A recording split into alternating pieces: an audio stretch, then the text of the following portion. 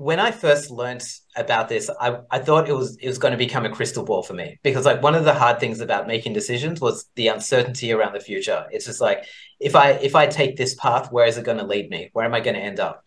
And so I started to try and apply this process to a lot of decisions, decisions that were fairly minor. For example, that I was into machine learning and AI at the time, and there was a whole lot, bunch of competitions, and I was thinking to myself, oh I don't know whether to enter this competition or not. Maybe I should decision journal it. And back then, it, it took me a while as well. The process wasn't as streamlined as it is now.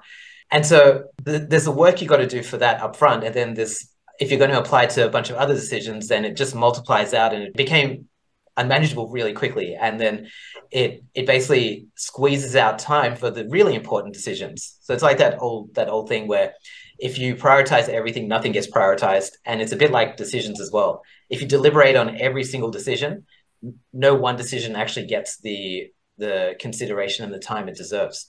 Yeah. And so um, I've got a tool in the book. Uh, it's one of the first book, um, tools called the impact reversibility matrix. You, you have to think about whether how um, high impact a decision it is and how reversible it is. So with entering a, a machine learning competition, it's highly reversible because I can just quit at any time. Could potentially leave a bunch of teammates in a lurch and maybe wreck my reputation. So maybe it's like maybe you've got to take those into account if you pull out.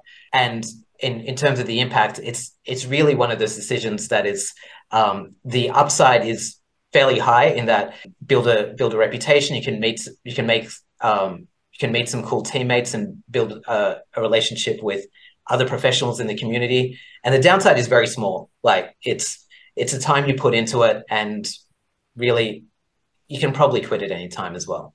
Mm. So that's that's like the decision I. It's a cautionary tale that I, I went through in the book of like, okay, so like once you learn this, it, it might be like a bit of a runaway. I want to apply this to everything, and I want to become a decision making grandmaster. But uh, I think a true decision making grandmaster uh, can applied to the meta decision of of should I actually run the run this through the process? Is it irreversible enough? Is it high impact enough to warrant this? And so, yeah, and we go through that as well in the book.